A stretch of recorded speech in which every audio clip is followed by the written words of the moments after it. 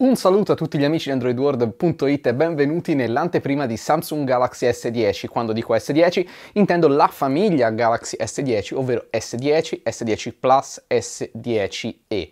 Si tratta di tre prodotti che arriveranno a brevissimo sul nostro mercato, non indugiamo oltre e andiamo a scoprirli. La prima cosa su cui sicuramente eh, dovremmo soffermarci è il design. Il design che non cambia moltissimo e se cambia lo fa grazie al nuovo schermo. Il nuovo schermo con l'Infinity O, dove O sta per la forma circolare del foro che c'è all'interno di questi display, un foro più piccolo su S10e ed S10, un po' più grande su S10 Plus perché contiene ben due fotocamere sulla parte frontale. Questo display ha un nuovo Dynamic AMOLED che permette al display di adattarsi a varie circostanze, ma ma soprattutto di avere una luminosità massima di ben 1200 nits e di un contrasto fino a 2 milioni a 1, che è veramente uh, un valore notevolissimo. Un display oggettivamente molto molto bello, ancora più fedele, con una miglior riduzione della luce blu, eh, ha anche una certificazione al riguardo e che quindi va a migliorare quanto già di molto molto buono si era visto prima. Questo Infinity O, questo piccolo forellino per la fotocamera, ci permette poi di avere anche un display ancora più grande, da 6.1 pollici per S10, da 6.4 per S10 Plus e da 5.8 invece un pochino più piccolo per S10e. Si tratta di display Quad HD per i due top di gamma, eh, invece di un Full HD, ovviamente tutti Plus visto che sono in 19 noni, per S10e. Ma c'è anche una novità perché su S10 e S10 Plus all'interno del display c'è un nuovo lettore di impronte digitali ultrasonico che quindi riesce a fare una scansione 3D della vostra impronta digitale rendendo il tutto anche molto più sicuro. E parliamo poi delle fotocamere, un'altra delle novità di questo Galaxy S10. Abbiamo ben tre fotocamere, una fotocamera principale da 12 megapixel con apertura variabile f1.5 f2.4, una fotocamera zoom da 12 megapixel con apertura f2.4 e una nuova fotocamera grandangolare da 16 megapixel con fuoco fisso, ovviamente, in questo caso anche non stabilizzata, le altre due sono sempre stabilizzate, f2.2. Questa è la grande novità. Eh, Sull'S10e trovate anche questa fotocamera, fotocamera grandangolare e non trovate lo zoom 2x. Nuova fotocamera frontale da 10 megapixel eh, e una seconda fotocamera frontale per lo scontornamento da 8 megapixel solo su S10 Plus. Eh, quando si parla di foto si parla anche in realtà di video, adesso abbiamo una nuova eh, stabilizzazione eh, steady, eh, che è un mix ovviamente di eh, ottico ed elettronico, presente tra l'altro una stabilizzazione anche sui nuovi video in 4K dalla fotocamera frontale e le fotocamere principali possono anche fare video adesso in 4K anche in HDR10+. Tra l'altro tecnologia supportata anche dal Dynamic AMOLED, ovvero dal display di questa famiglia Galaxy S10. E poi qualche altra chicca, la ricarica wireless sempre presente, ma adesso anche inversa, ovvero che permette di dare energia, di dare carica anche ai dispositivi dei vostri, dei vostri amici eh, e anche alle nuove Galaxy Buds, alle nuove cuffie che potrete, come vi dirò alla fine, anche eh, ricevere gratuitamente all'acquisto di un Galaxy S10. Abbiamo poi le routine di Bixby, quindi una nuova funzionalità per sfruttare Bixby.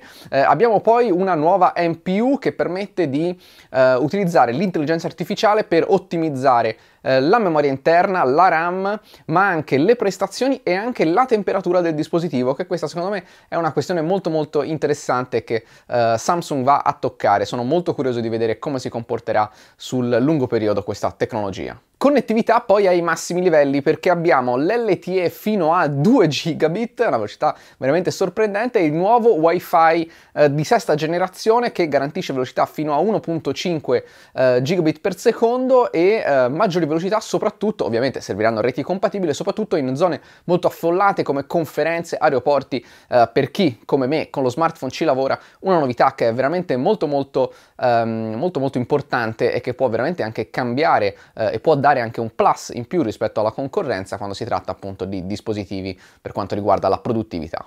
Siamo quasi arrivati alle conclusioni, ma prima di farvi vedere i dispositivi eh, vi do qualche altro dettaglio in come si differenzia, quest differenzia, questa famiglia. Galaxy S10 ha 8 GB di RAM, 128 e 256 GB di memoria interna, ovviamente espandibile. Galaxy S10 Plus è disponibile da 8 o 12 GB di RAM, nei tagli di memoria da 128, 200, scusate, 128, 512 e 1 TB di memoria interna espandibile. E infine Galaxy S10e da 6 e 8 GB di RAM, magari eh, più avanti riuscirò a dare darvi anche qualche dettaglio su quali saranno le varianti che arrivano nel nostro paese, forse anche tutte, eh, con tagli di memoria da 128 e 256 GB di memoria espandibile. Batterie da 3004 per Galaxy S10, 4100 per Galaxy S10 Plus e 3100 per Galaxy S10e.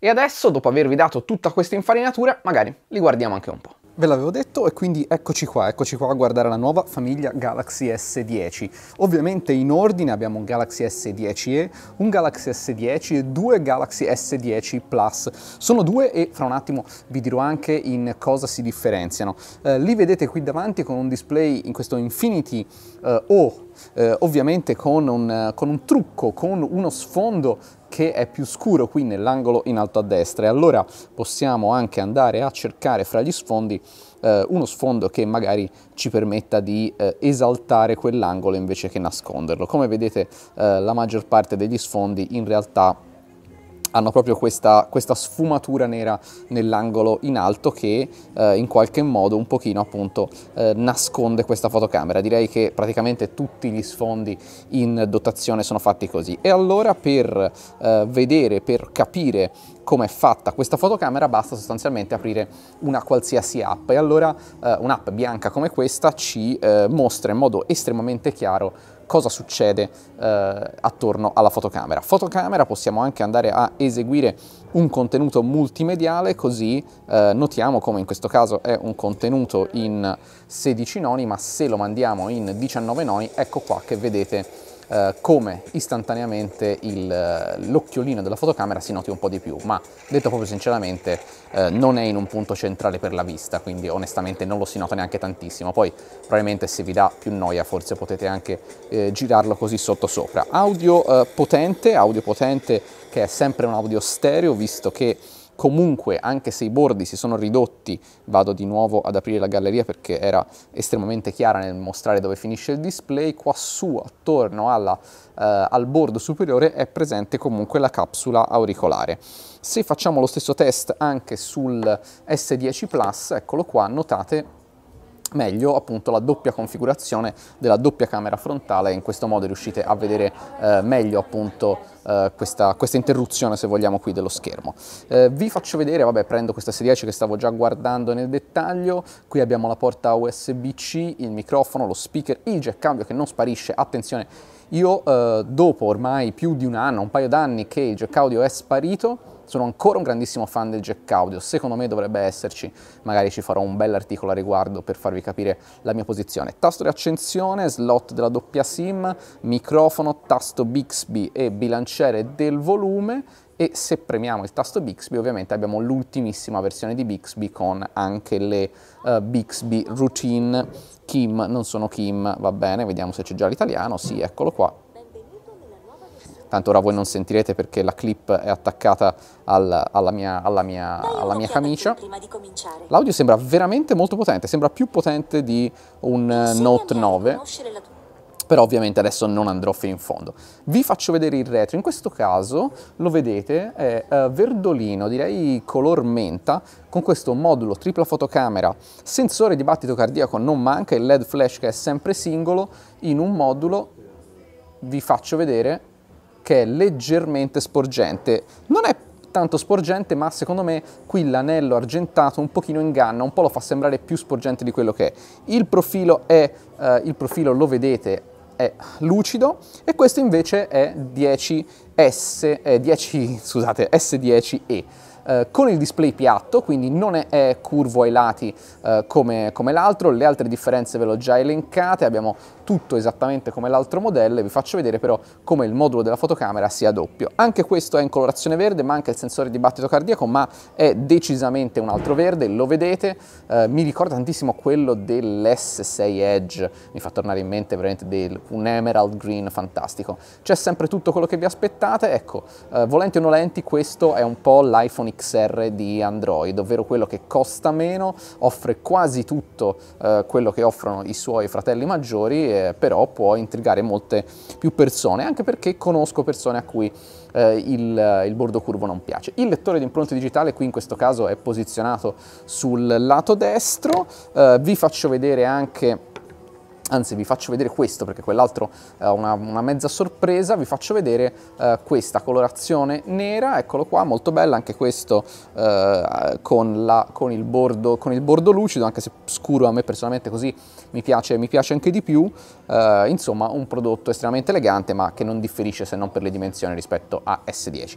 Ma vi faccio vedere questo perché questo è la versione in ceramica, pesa di più, eh, ma devo dire che il suo indubbio vantaggio è che sembra trattenere meno le impronte. Questo è un grande vantaggio perché eh, gli smartphone Samsung un po' soffrono di, questa, di questo di questo problema, ovvero il fatto che trattengono molto le impronte. Forse sarà anche la colorazione bianca, ma sembra esattamente um, migliore da questo punto di vista. È più pesante, oggettivamente, non ho dietro il dato, ma lo trovate nell'articolo, e vi faccio vedere una cosa, vi faccio vedere il lettore di impronte digitali ultrasonico. Lettore di impronte digitali ultrasonico che è posizionato qui e che funziona sempre, non dovete per forza risvegliare lo smartphone, quindi io poggio il dito qui e lo smartphone si sblocca. Uh, l'ho configurato veramente 10 minuti fa, appena prima di iniziare il video, in questo caso ho mancato la posizione bisogna un po' imparare, ma come avete visto anche senza eh, particolare allenamento si riesce ad andare eh, così in modo molto naturale a trovare il lettore di impronte che eh, è, molto, eh, è, molto, rapido, più rapido degli altri lettori di impronte digitali sotto il display, non probabilmente rapidissimo come un lettore di impronte digitali eh, classico. Eh, se il telefono invece è così in attesa, come vedete in realtà Uh, i tempi di sblocco non migliorano, nel senso che non si ha un sensibile miglioramento se il display è risvegliato, visto che il, il sensore ultrasonico è sempre attivo e non dipende appunto dal, dal display se è acceso o meno. Uh, andiamo a vedere per curiosità uh, le impostazioni del telefono per vedere le versioni del software Android 9, One UI 1.1 eh, con le patch di gennaio. Andiamo ad avviare la fotocamera, eccola qua, che quindi ha tre impostazioni, le avevamo già viste in questa configurazione anche sui Galaxy A, quindi la modalità zoom 2x, la modalità grandangolare 123 gradi se non vado errato, che è la stessa, eh, dice Samsung, dell'occhio umano. Ovviamente c'è anche l'anteprima full, che è ampiamente, ampiamente spettacolare, il live focus per la sfocatura con anche degli effetti, di, eh, degli effetti attorno al soggetto in primo piano, la modalità food, foto, video, super slow motion, slow motion e poi nelle foto abbiamo anche una nuova eh, intelligenza artificiale che riconosce 10 scene in più, eh, Scene Optimizer, eccolo qua, se volete lo potete disabilitare, ma eh, tutto sommato perché disabilitarlo? L'interfaccia è molto simile a quella di a quella che conosciamo di, di, del, del, Note 9 o comunque degli altri dispositivi che si sono aggiornati di recente. Non so dirvi ancora molto sulla fotocamera, sulla qualità, sempre velocissima, ovviamente la testeremo a dovere, e anche la doppia nuova uh, fotocamera frontale. Voglio fare una cosa, voglio cogliere quindi un'occasione per tirare dentro fra i contendenti anche due, due avversari, ovvero un iPhone XS e un Samsung Galaxy S9. Eh, in questo modo riusciamo un po' a, magari spingo fuori degli avversari, a farvi vedere anche un po' magari le dimensioni. Come vedete l'S10e è più compatto anche del, dell'iPhone eh, XS e anche o oh, 10S eh, e che del, del, Samsung Galaxy S9. Ve li faccio vedere eh, fianco a fianco, come vedete è veramente molto molto compatto. Eh, il confronto invece fra un S9 e un S10 eh, dimostra come le dimensioni siano cresciute di poco a favore di un display, guardate quanto più grande, eh, veramente veramente notevole. Facciamo una cosa, facciamo, apriamo il Play Store per entrambi così creiamo un po' di bordi in più per mostrarvi la differenza, la differenza oggettivamente è eh, veramente veramente notevole. Prima di chiudere vi faccio vedere anche questa cosa molto interessante, dalla tenda delle notifiche, wireless power share, quindi è tutto pronto. E adesso prendo queste che sono le nuove Samsung uh, Buds, eccole qua, molto piccole, molto compatte, con il LED che indica che sono andate in carica, ma se appoggio qui il piccolo LED che vedete sulla parte posteriore da verde è diventato rosso che indica la carica. Posso fare la stessa cosa anche con Samsung Galaxy S10e, come vedete ovviamente è andato in carica anche questo. Posso farvi vedere queste Galaxy Buds anche in altre colorazioni, ve le faccio vedere gialle, ma ve le posso anche far vedere nere che a favore di luce onestamente si vedono anche, anche, meglio. 149 euro ma poi vi parlerò anche a fine video di una promozione molto interessante. Non è la prima volta che vediamo la ricarica wireless inversa ma è la prima volta almeno nel nostro continente che eh, un'azienda la sfrutta bene per offrire un'integrazione all'interno del suo ecosistema in questo caso con la ricarica delle eh, nuove cuffie wireless Samsung Ebbene, questa era solo un'anteprima dei nuovi Galaxy S10 della famiglia Galaxy S10. Chiudo ovviamente con prezzi e disponibilità. Disponibili dall'8 marzo 2019, ovvero fra pochissimi giorni, eh, preordinabili da subito S10 ed S10 Plus, prezzi 779 euro per eh, Galaxy S10 e 929 euro per Galaxy S10 e 1029 euro per Galaxy S10 Plus. Ovviamente i prezzi vanno a salire in base ai tagli di memoria e ai tagli di RAM. Se li preordinate subito potete avere 9 Galaxy Buds dal costo di 149 euro incluse nel prezzo. Sono disponibili nei colori bianco, nero, verde, anche giallo Galaxy S10e e anche in ceramica bianca o ceramica nera con il retro ovviamente per quanto riguarda Galaxy S10 Plus. Per questa anteprima è tutto, un saluto da Emanuele Cisotti per AndroidWorld.it.